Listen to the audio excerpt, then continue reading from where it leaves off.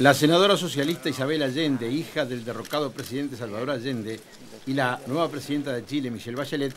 protagonizaron una imagen que pasará a la historia. Es la primera vez que una mujer encabeza el Senado de Chile y también la primera vez que en esa ceremonia en el Congreso chileno es protagonizada por dos mujeres que además son hijas de dos víctimas de la dictadura de Pinochet, Salvador Allende y Alberto Bachelet. Bachelet inició su segundo mandato presidencial que durará hasta 2018. La nueva presidenta de Chile se propone que en su mandato se cumplan tres reformas, la política, la fiscal y la educativa.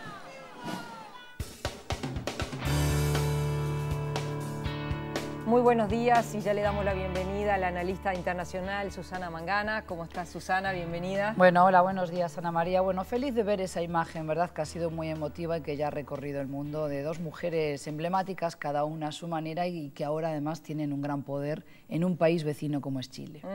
Eh, un país que está catalogado como bastante machista, una sociedad bastante machista, pero sin embargo que tiene una mujer presidiendo el, Senado, como es Isabel Allende, hija de Salvador Allende, y Michelle Bachelet como presidenta, hija también de un general que murió en la tortura durante la dictadura, pero esas dos simbologías, por un lado la imagen del pasado reciente y por otro lado dos mujeres en una, dos mujeres y tantas en, una sociedad bastante machista. He de confesar que realmente no tenía a Chile como un país eh, más machista que otros. Me parece que eso a veces puede ser un poco una foto, una imagen un tanto estereotipada, así como una sociedad conservadora, producto de lo que ha sido también su historia reciente, sobre todo en etapas de dictadura donde el poder se concentraba en lo militar. Pero sí me parece que es bastante eh, significativo que eh, Michelle Bachelet ha sido reelegida por segunda vez presidente de la nación, pero además con una cuota de aceptación social,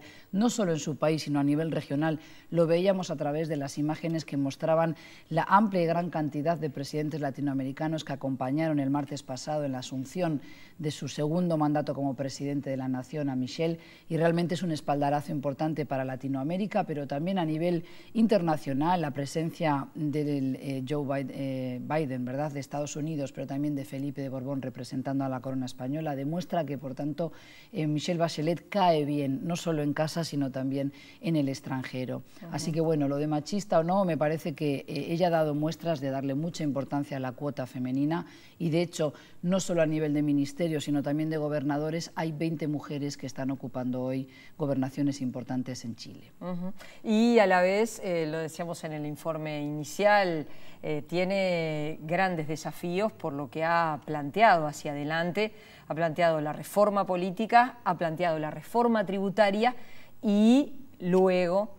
la reforma educativa. Yo digo luego porque evidentemente la reforma tributaria va a ir primero a la reforma educativa. En tu esquema, digamos. Claro, porque digo, en la medida que hoy se está planteando una gratuidad de la enseñanza en Chile, va a ir de la mano de la reforma tributaria. Sí, o sea, eh, los desafíos son muchos y muy variados. Yo creo que desde la recuperación democrática eh, el espectro político en Chile se ha ido ensanchando hacia la izquierda, por eso vemos nuevos instrumentos electorales, como por ejemplo Nueva Mayoría, que es ese espacio político que representa a la fuerza política de Bachelet, pero que también incluye al Partido Comunista, algo que no ocurría desde la etapa de Salvador Allende, el padre de la presidenta hoy del Congreso, Isabel Allende, a quien veíamos esa mujer con esa figura estilizada, poniéndole la banda eh, presidencial a Michelle Bachelet, la misma banda que ya utilizó en el anterior mandato, ¿verdad? Que yo creo que está cargado de simbología, pero que es importante en un país como Chile, donde todavía tienen que lidiar los chilenos con tensiones muy duras con la democracia,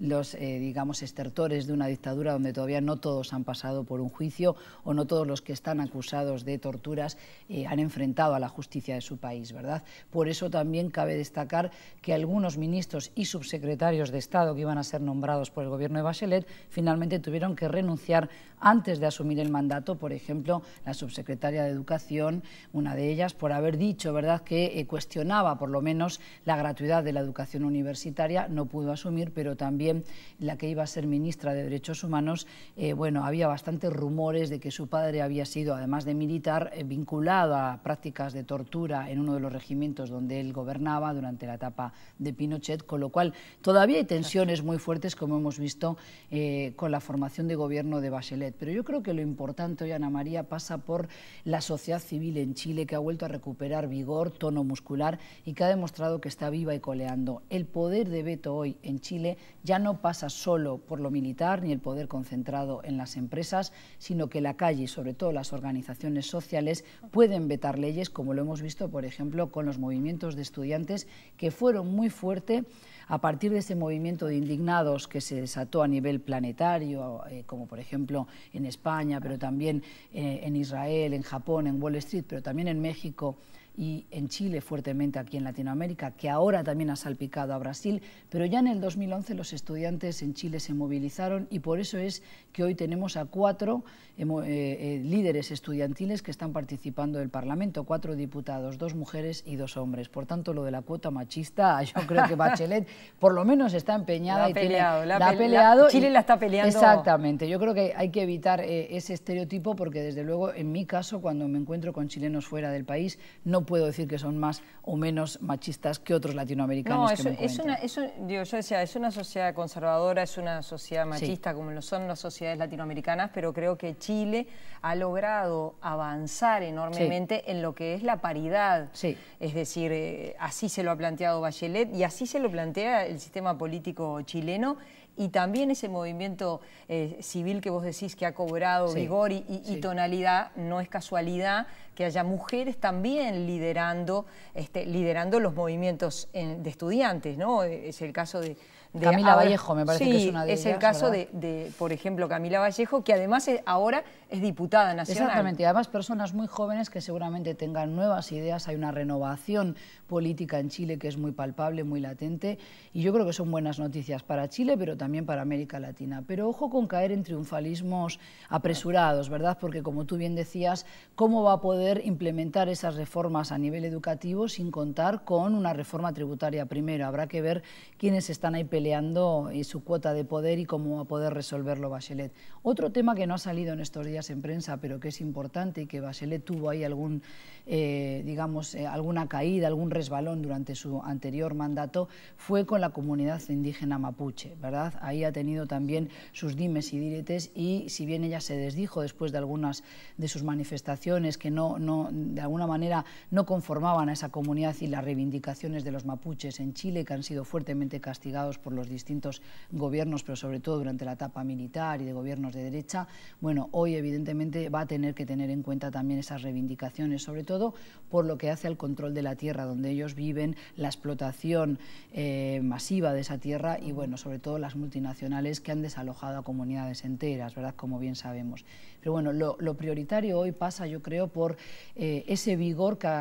ha, retomado la sociedad civil y que realmente hay mucha expectativa a nivel de calle. Veremos si puede cumplir con todo eso, ¿verdad? Sí, eh, cuando pasó por Montevideo para recibir un premio muy importante de derechos humanos, eh, Ángela Geria de Bachelet, la mamá de, de Michelle Bachelet, una mujer de 87 años,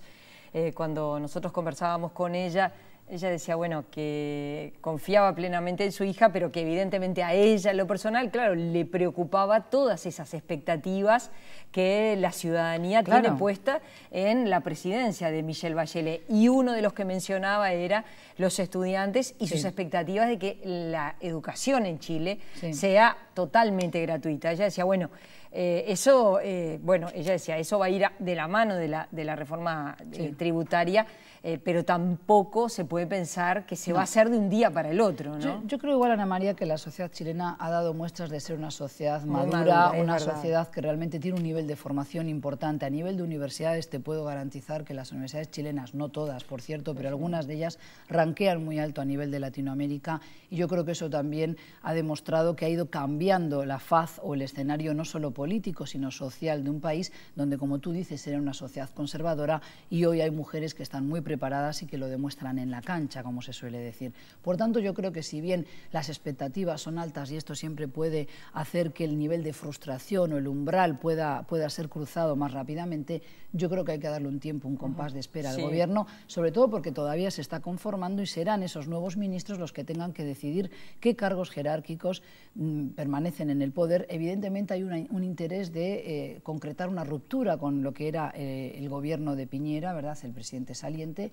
ya, ya ahora asumió Bachelet, pero bueno, lo importante es que yo creo que hay un nivel de aplauso social, podríamos decir, y de consenso de que Bachelet sabe hacer las cosas bien. En segunda vuelta arrasó con 62%, ¿verdad? Entonces eh, eso no es, no es, poco y me parece que ese apoyo, eh, esa forma de arropar a su, a su presidenta es, es, importante en Chile. Sí, y además algunos, algunos datos que son interesantes. Nosotros estábamos hablando de las expectativas de los estudiantes, de la gratuidad de la enseñanza, en un Chile que así lo, lo indicaban las pruebas PISA, tiene un nivel de inserción de sus estudiantes muy importante, de un 80%, lo cual eh, eso habla también muy bien de, de ese nivel de inserción y lo decimos desde acá, un país donde eh, Uruguay tiene precisamente graves problemas de inserción de los estudiantes en la enseñanza media. Yo creo que hay que hablar de también lo que ha sido eh, el avance de Chile hacia otras zonas, ¿verdad? Claramente Chile se ha posicionado siempre frente al resto de los países latinoamericanos eh, como un país pionero, por ejemplo, en trabajar en la relación comercial con China. Es decir, las tasas de desempleo en Chile han sido notoriamente bajas comparándolas con otros países vecinos, como por ejemplo Argentina pero también en el caso de México o de Uruguay, para salir un poquito del cono sur. ¿no? Ahora, yo creo que eh, ahora hay una desaceleración no solo de China, sino también eso va a afectar a las exportaciones chilenas, por ejemplo, puede ser la fruta, no solo el cobre, que ha sido el monopolio histórico del monoproducto, dijéramos, de Chile, pero Chile ha sabido posicionarse en mercados que son insólitos, por ejemplo, el vino chileno. Allí donde voy, así sea en Israel, por ejemplo, el vino que se vende eh, masivamente es el vino chileno porque tiene buena calidad, sobre todo una buena relación calidad-precio. Y eh, con empresarios chilenos me confirmaban en los distintos congresos a los que suelo asistir, que tú sabes muy bien que intento viajar seguido, me dicen, Susana, el vino que se produce hoy en Chile no es para consumo interno, sino que es para exportación. Casi todo el vino que se produce es para exportación. Con lo cual, yo creo que ha sabido, eh, ha sabido ganar Chile nichos de mercado, que es lo que permite después que haya una salida laboral para esos técnicos y para esos egresados, para esos licenciados, y que de alguna manera también las tasas de desempleo sean inferiores al resto de la región, pero también ojo porque hay una desaceleración económica para, el propio Chile, ¿verdad? Y esto puede ser algún riesgo, alguna amenaza para el equipo económico de Bachelet. Eh, antes de pasar a El Salvador, un, un último comentario. En las últimas horas